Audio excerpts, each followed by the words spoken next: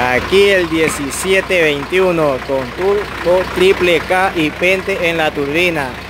Más uno de Javier Pente Guayaquil.